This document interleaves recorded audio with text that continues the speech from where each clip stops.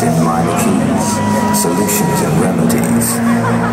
Enemies becoming friends when bitterness ends.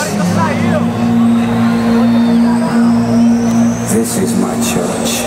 This is where I heal my hearts. For tonight, God is a DJ.